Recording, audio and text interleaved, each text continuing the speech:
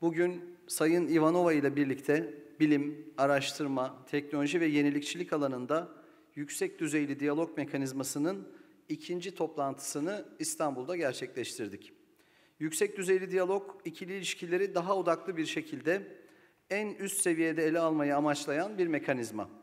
Avrupa Birliği ile ikili ilişkilerimizi en ileri düzeyde ele alarak önemli ve kapsamlı bir gündem etrafında verimli görüşmeler gerçekleştirdik.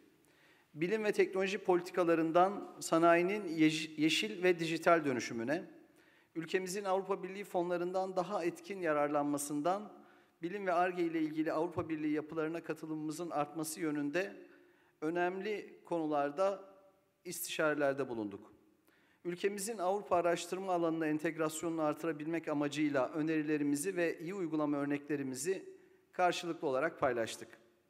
Bilim, teknoloji ve inovasyon politikalarımızdaki önceliklerimizi ortaya koyduk. Yeşil ve dijital dönüşüm alanında son dönemde kaydettiğimiz gelişmeleri paylaştık.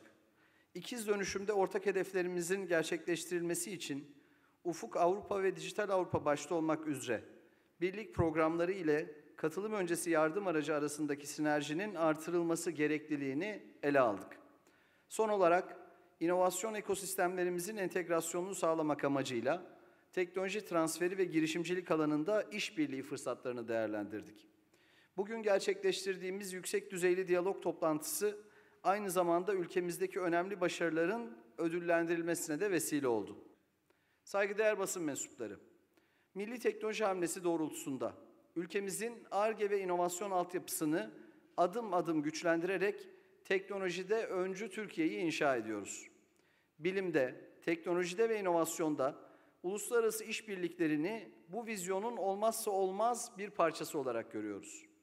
Bu bakış açısıyla araştırmacılarımıza, girişimcilerimize, sanayicilerimize ve KOBİ'lerimize Avrupalı diğer ortaklarıyla beraber çalışma imkanı sunan AB programlarına katılımı ve bu programların sunduğu imkanlardan en üst düzeyde yararlanmayı stratejik öncelik olarak belirledik.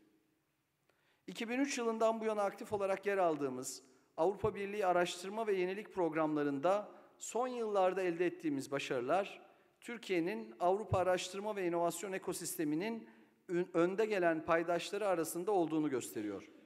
2021-2027 yıllarını kapsayan Ufuk Avrupa programında 2021 yılından bu yana 1107 Türk yürütücünün dahil olduğu 486 proje aracılığıyla 243 milyon avro hibe desteğini Türkiye'ye kazandırdık.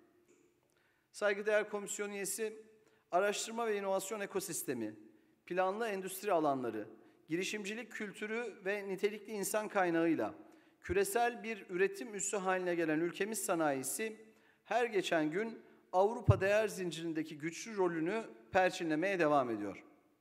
Güneş paneli, beyaz eşya, ticari araç, düz cam ve çimento gibi pek çok alanda Avrupa'da lider konumda olan sanayimizin rekabet gücünü korumak ve 2053 net sıfır emisyon hedefimizi hayata geçirebilmek amacıyla ikiz dönüşümü her daim gündemimizin en üst sıralarında tutuyoruz.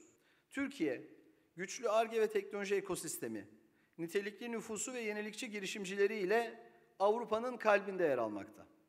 Avrupa ve Türk araştırma alanının entegrasyonunu sağlamak adına somut işbirliği mekanizmaları geliştiriyoruz. Bu mekanizmaları ve programları sadece ülkemize kazandırdığımız fon ve finansal olanaklar olarak değerlendirmiyoruz. Aynı zamanda Türk ve diğer Avrupalı paydaşları bir araya getiren, birlikte çalışmaları için fırsat sağlayan yapılar olarak görüyoruz. Bu nedenle Türk araştırmacılarımızın, mühendislerimizin ve yenilikçi firmalarımızın diğer Avrupalılarla birlikte çalışmalarını, teknoloji ve ARGE transferlerini kolaylaştırmak adına yapay engelleri kaldırmamız elzemdir. Avrupa'nın inovasyon ve teknoloji ekosistemine dinamizm ve ivme kazandıran genç araştırmacılarımız ve girişimcilerimiz için vize muafiyetinin kritik önemi haiz olduğunu bir kez daha belirtmek istiyorum. Years, researchers, scientists and innovators from Turkey have competitively gained 743 million euros from our programs.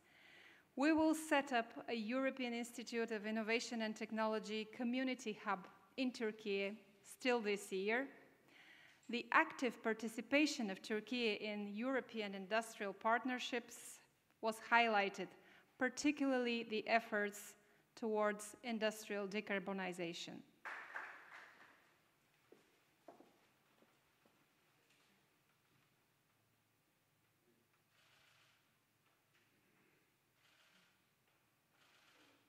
We all request from you to join us for the lunch next room to this hall. Thank you very much.